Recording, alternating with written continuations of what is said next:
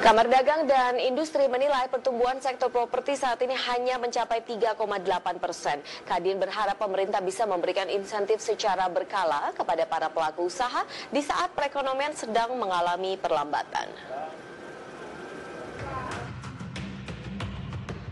Perlambatan ekonomi yang terjadi saat ini ikut menggerus pertumbuhan sektor properti. Diperkirakan hingga akhir tahun 2019, industri properti masih tetap loyo.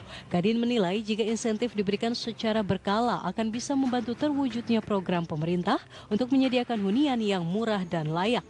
Menurut Ketua Kamar Dagang dan Industri Rosan Roslani, kondisi perekonomian yang terjadi saat ini perlu disikapi dengan pendekatan khusus. Jika kondisi perekonomian sudah stabil, insentif yang telah diberikan dicabut tidak masalah karena industri properti sudah bergeliat.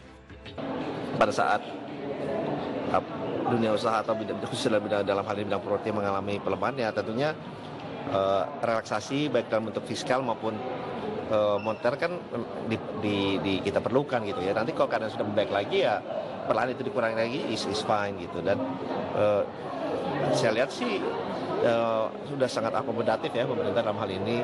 Memang itulah peran dunia usaha dan, dan pemerintah dan pemangku yang lainnya memang harus bertemu secara berkala sehingga apa kendala-kendala yang di lapangan masukan-masukan itu bisa terus kita kita kita carikan solusi yang terbaik ya. Keselarasan regulasi dan tambahan insentif di sektor properti diperlukan agar bisa mendorong perekonomian dalam negeri.